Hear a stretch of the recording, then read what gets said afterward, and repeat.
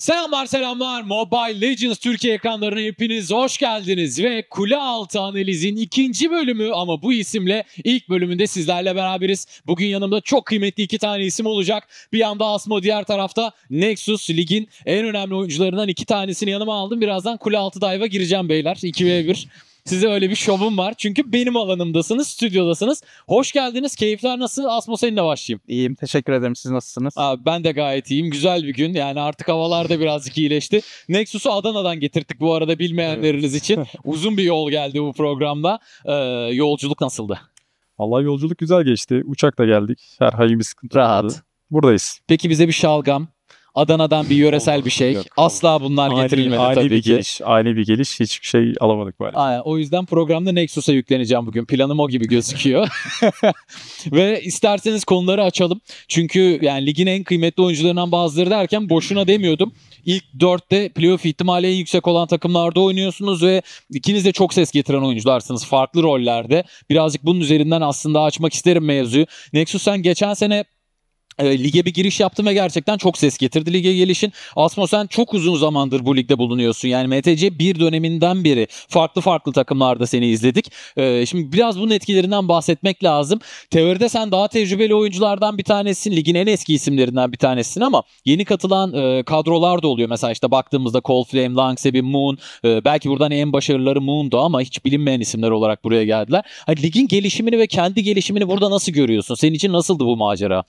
Açıkçası şöyle. e, şu an kağıt üstünde 3 tane takım gibi gözüküyordu en başında. Aslında bize de çok fazla şans verilmiyordu. Ama bence iyi takımlar var. Özellikle en şaşırdığım takım olarak söylemem gerekirse Moonlight olacak. Evet. Moonlight herkes şaşırdı bu arada. Ya bence gerçekten iyi oynuyorlar.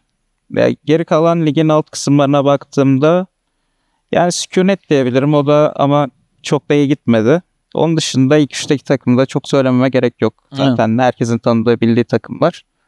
Genel olarak ilk dörde kalacağımızı düşünüyorum ben. Geleceğim oralara. Birazdan geleceğim Tamam, oralara çünkü fikstürü çok güzel. Bu haftanın fikstürünü de biraz konuşacağız. Nexus senin de düşünceni alayım. Sen hani bir noktada bir izleyiciydin, bir noktada oyuncuya döndün ve e, aslında burada bir yıldan belki daha kısa bir süreç var senin profesyonel olarak oynadığın. Hatta lig dönemi iki aya, üç aya falan denk geliyor. O arada kendi gelişimini nasıl değerlendiriyorsun? Yani biz senin hep daha iyi gittiğini düşünüyorduk ama hani bireysel şöyle bir baktığında hissiyat e, ne alemde? Yani şöyle aslında profesyonel olarak sadece bir sene değil. Ben Hı. bir seneden daha kısa süre önce oyuna sadece döndüm. Yani Tabii. ben çok uzun bir ara vermiştim. iki Hı hı. buçuk senelik. Farklı bir oyundaydım. Uzun aradan sonra döndüm. Ve döndüğümde zaten lig için dönmüştüm. Tamamıyla kendimi geliştirmek maksadıyla oyun oynuyordum. Tamamıyla lig için oynuyordum. MTC1'de izleyici olarak kaldık. Hem deprem olayları olmuştu. Fazla hazırlanamamıştım. Hem de daha yeteneğe gelişmemiştim. Yeterince oyuna ısınmamıştım. MTC2'de önüme bir fırsat çıktı ara transfer döneminde. Ve asıl ekibi. Yani aslında son sıra takımıydı. Ee, katılsam mı katılmasam mı diye çok düşündüm. Ama işin ucunda kendi bireyselim var. Sadece takımsal olarak düşünmemeliyiz. Benim zaten uzun vadeli bir hedefim var. Girdim. Kendimi gösterebildiğim kadar gösterdim. Elimden gelince elimden geleni yaptım. Ve şimdi buradayım.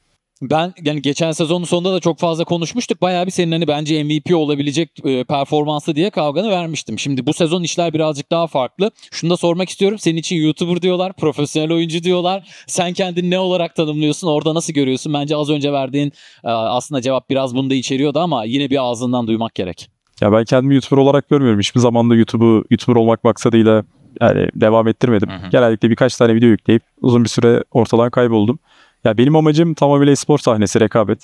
Ee, YouTube özelinde tabii ki içerik üretmek, yayın açmak hoşuma gidiyor. İnsanlarla etkileşim içerisinde olmak hoşuma gidiyor ama benim en çok hoşuma giden şey kazanmak, birilerini yenmek, rekabet. Yani biraz sarışınım. onu onu fark ettim bu arada. Gözlerimin içine bakarken orada hırçınlığı aldım.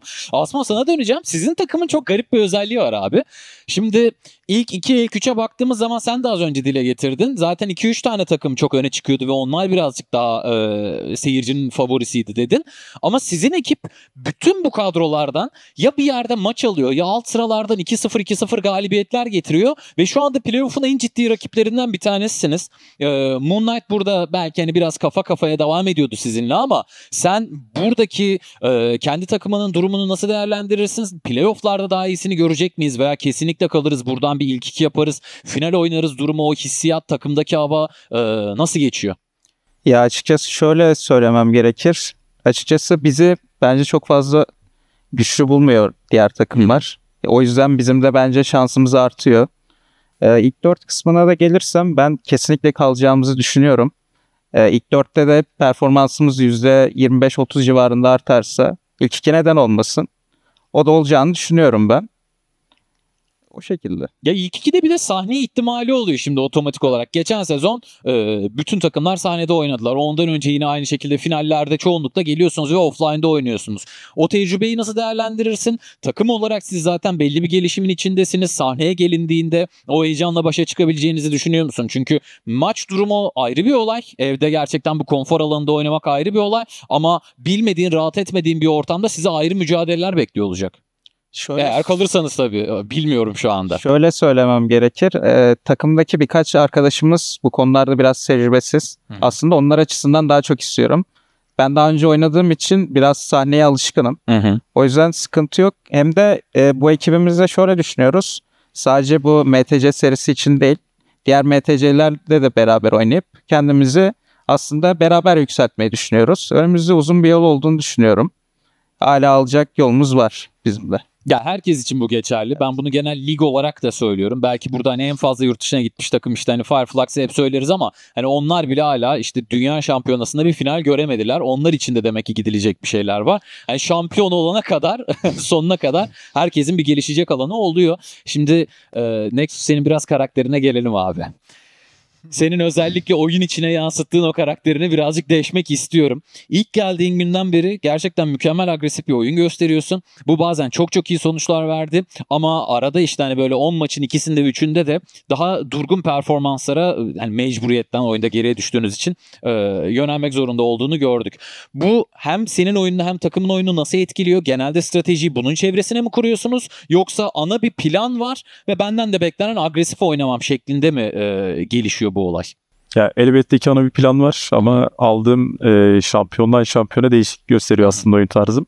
Ama genel olarak kendime oyun içerisinde çok güvenirim. E, ekstraları görebildiğimi düşünüyorum oyun içerisinde. Bir rakip şampiyonun, e, rakip oyuncunun hata yaptığını gördüğümü düşünüyorum ve o hataları değerlendirme konusunda bence iyiyim.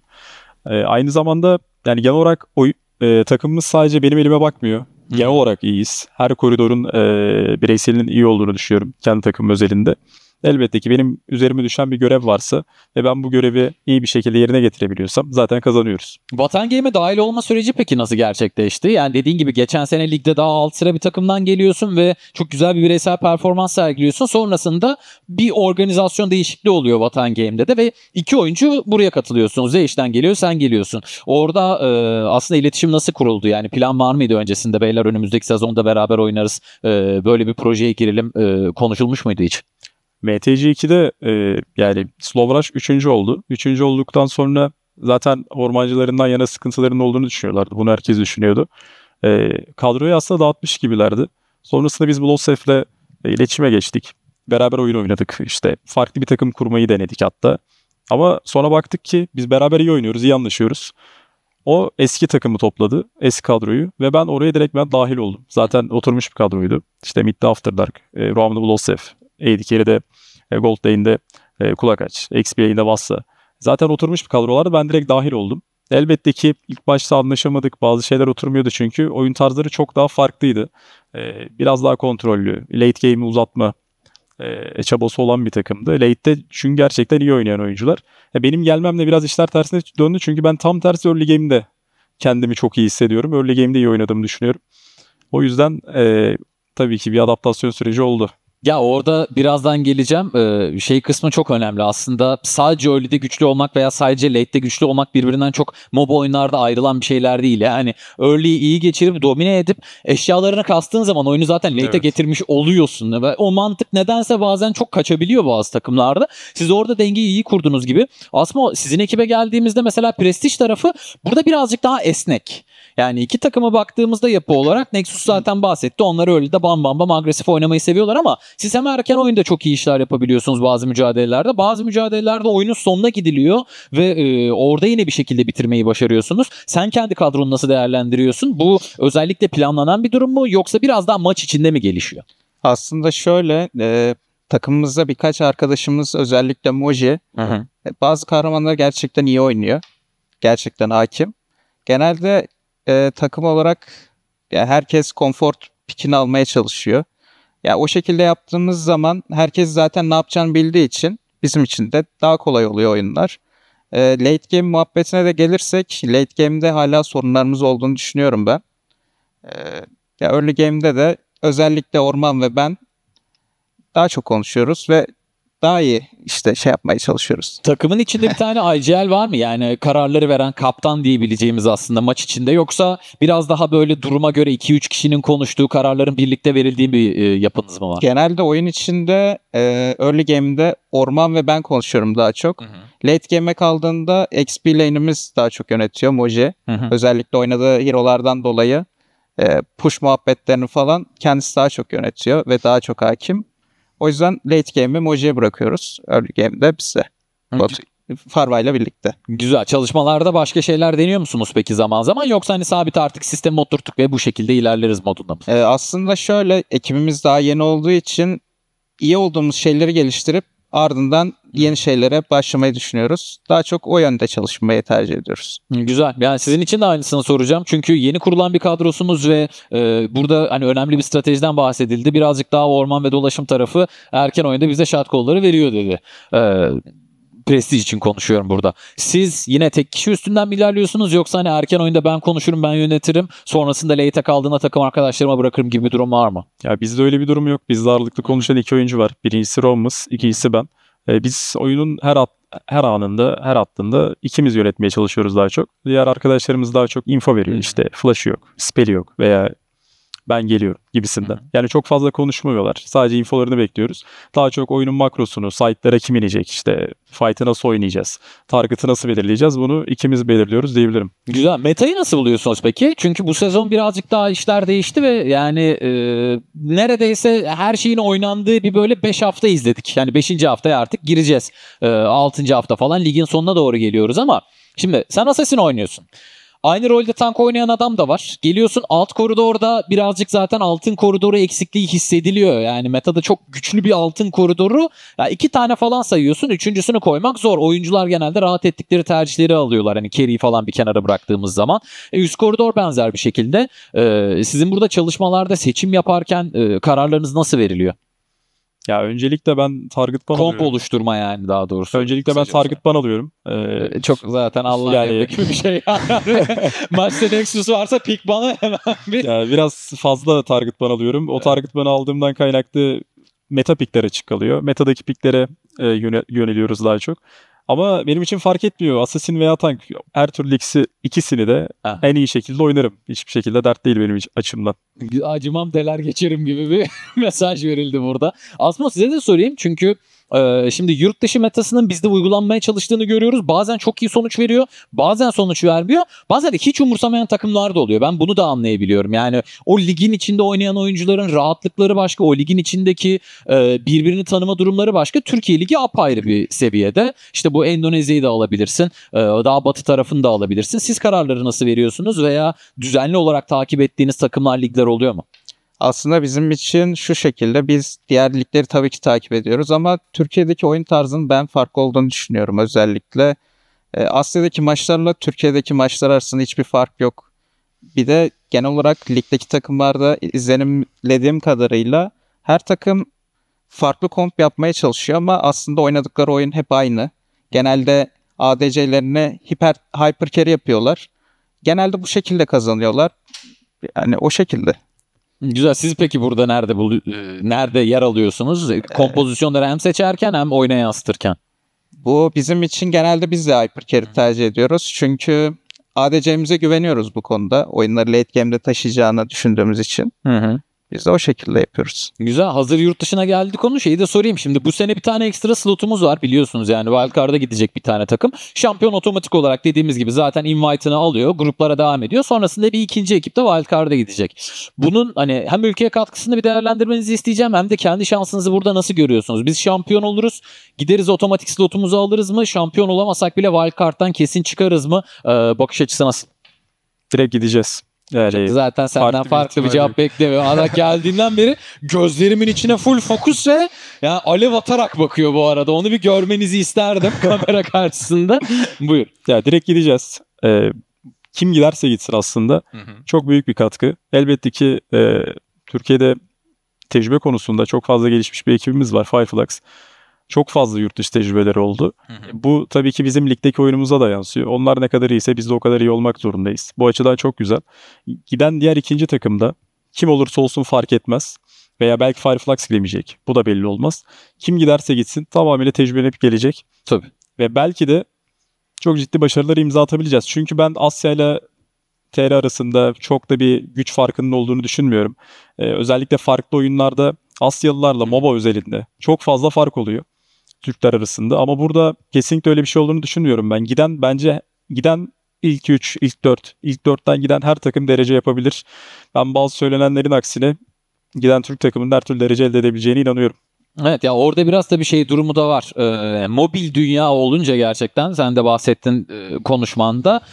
Biz de çok erken olaya dahil olabildik. PC'de işler farklıydı ama burada gerçekten dakika birden itibaren oyun çıkar çıkmaz MLBB için de bunu söyleyebiliriz. Ee, bir anda binlerce yani hatta milyonlarca oyuncuya ulaşıyor ve o havuz da çok çok geniş oluyor. Asmo sen ne dersin bu konuda? Çünkü e, dediğimiz gibi hem bir final ihtimali var hem direkt gruplara gitme ihtimali var hem de bir wildcard potansiyeli var. Wildcard nispeten daha kolay rota gibi ama e, tabii herkes gruplara da gitmek ister yani. Benim şahsi fikrim şu anki kendi ligimize baktığımızda Fireflux ve diğerleri diye ayrılıyor bence. Hı.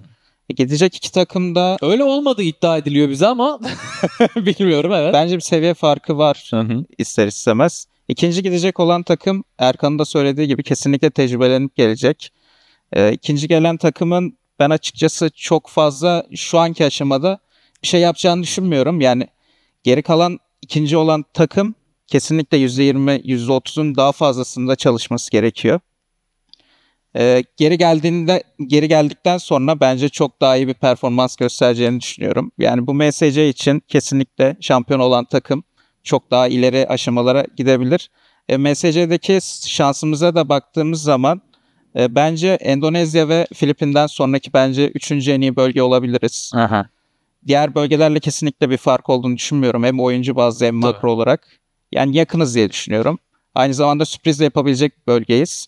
O yüzden ikinci olan takımın biraz şansı da var ama yok gibi de. Biraz bu oyuncuların mentaline de bağlı diye düşünüyorum.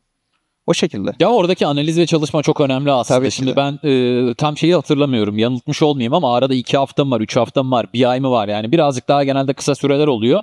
E, o aranın nasıl değerlendirildiği önemli. Sonuçta yani siz sadece 4 gün 5 günlük bir belki turnuvaya gideceksiniz ve 3. maçın sonunda eğleneceksiniz. Yani hata hakkınızın daha az olduğu yerler. Ligde mesela bunu söyleyemiyoruz. E, bir tık daha rahat geçebiliyor karşılaşmalar o yüzden playofflara finale kalana kadar. Yani şunu da sorayım. Şimdi az önce hani bütün oyundan ondan bundan vesaire her şeyden bahsettik ama e, birazcık daha fikstür gelsin bu arada. Önümüzdeki maçları da değerlendirelim istiyorum. Şimdi çok önemli iki tane maça çıkacaksınız. ikiniz de bu hafta. Fikstüre şöyle bir baktığımız zaman bir tarafta S2G prestij mücadelesi var. Ardından Fireflux Vatan Game mücadelesi var. Şimdi röportajlar verildi mi emin değilim ama herkes her maçla ilgili çok iddialı konuşuyordu. Bu kadar kafa kafaya takımlar oynayınca herhalde daha da iddialı konuşulmuştur. İlk dört kendi içinde oynayacak. Asma senden başlayayım. S2G maçı neler söylemek istersin? Vurup geçiyoruz mu? Nedir durum? Ee, biraz düşünsem olur mu ya burada? Abi düşün. Problem senin. İstersen Nexus'tan başlayayım. Bence Nexus daha iyi cevabı ne? olur. Daha iyi olur. Ya şöyle aslında biz playoff odaklı çalışıyoruz. Evet. E, rakibimiz Fireflux ama lig aşamasında çok da hem kendi özelimde hem de takım özelinde çok da yüksek bir performans gösterdiğimizi ben düşünmüyorum. Her ne kadar 8-0 başlamış da olsak bence çok normal bir başlangıçtı. Ben kesinlikle bir ekstra olduğunu düşünmüyorum. Yani lig aşamasında yenebiliriz, kaybedebiliriz. Bir şey fark etmiyor. Zaten playoff'a gideceğiz. Asıl e, kozlar playoff'ta paylaşılacak. Tüm hazırlık da oraya.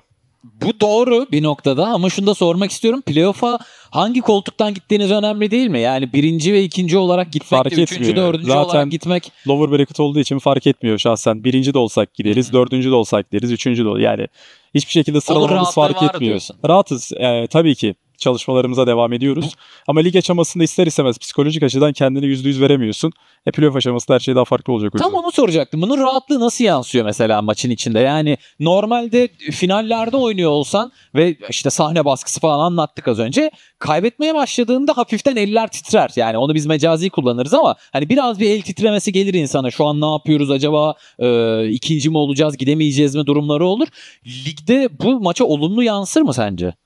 Yani ligde Kaybetmenin bir cezasının daha az oluşu. aslında şöyle kaybetmeye başladığında kaybedecek şeyinin daha az olduğunu hissediyorsun ve ekstra deneyebiliyorsun. E, bu açıdan lig aşaması daha rahat. Ama işte playoff aşamasında da o aşamaya bir şekilde gelmiyorsun. O, o hatayı yapmamış oluyorsun. E, daha dikkatli oynamış oluyorsun. O yüzden yani lig aşamasında bilmiyorum. Çok da bir önemi yok. Fark ettim senin düşünceni. Bir yandan da iyi bir şey bu.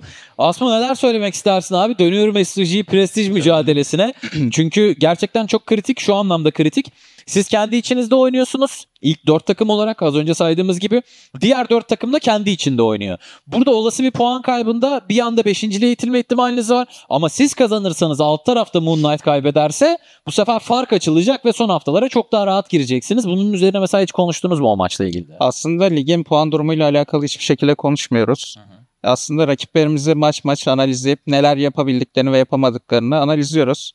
SOG'nin de neler yapabildiğini ve neler yapamadığını biliyoruz.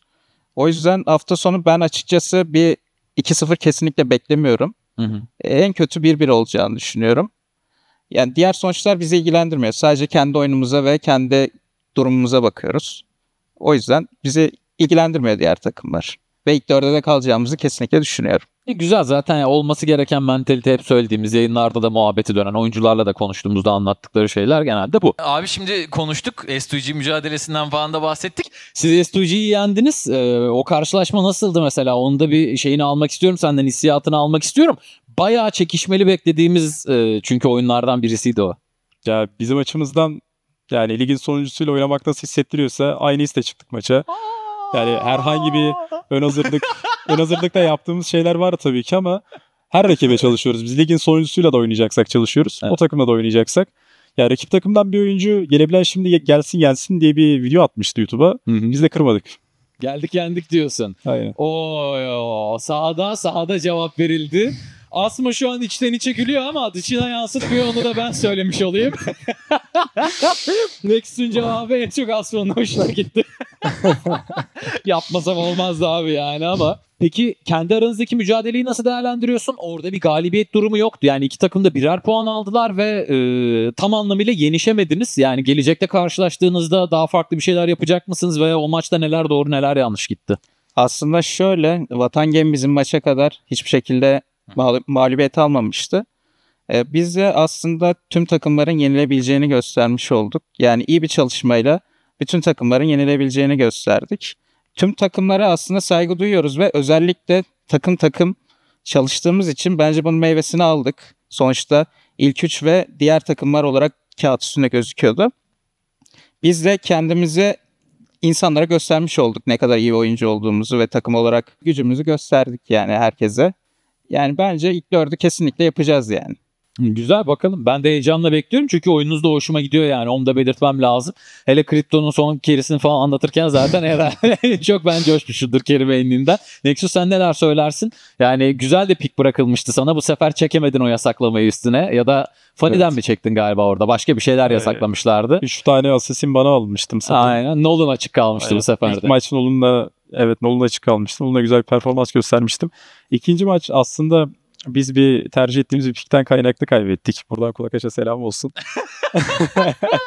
yani Ne pikledi abi kulak aç? Anlatsana bize birazcık. e, bir, bir Harit piki oldu. Evet. Aslında güvenerek de vermiştik ama aslında tam oraya olmadı. Çünkü Harit pikini e, tam çalıştıramıyoruz. E, yani biz genel olarak değil aslında sunucu olarak tam olarak çalıştırabildiğimizi düşünmüyorum. Ya ağırlıklı olarak yüksek bir AD hasar lazım Harita Gold'da oynayabilmemiz için ve o maç draftı zaten ben atıyorum ben hata yaptım. Ee, kulak açının üstüne serpiştirdiği kötü performansı bize kaybettirdi. Biraz O sırada oldu. kulak aç Nexus'u hatalarını temizlemeye çalışırken. Peki yani ben katıldığınız için çok teşekkür ediyoruz. Gerçekten teşekkür ederiz. müthiş bir sohbetti. Son olarak siz destekleyen desteklemeyen herkese neler söylemek isterseniz Asmo senden başlıyorum. Bizi destekleyenlere desteklerinin devamını istiyorum öncelikle. İz, bizi izlemeye devam etsinler. Biz gözlerini kara çıkartmayacağız. Destekçilerimize öncelikle çok teşekkür ediyorum. Ee, bizi sevmeyenler çok fazla. Özellikle beni sevmeyenler çok fazla. Biraz yüksek bir hater kitlemiz var. Bu rakibimizin e, fan kitlesinin yüksek olduğundan kaynaklı sanırım.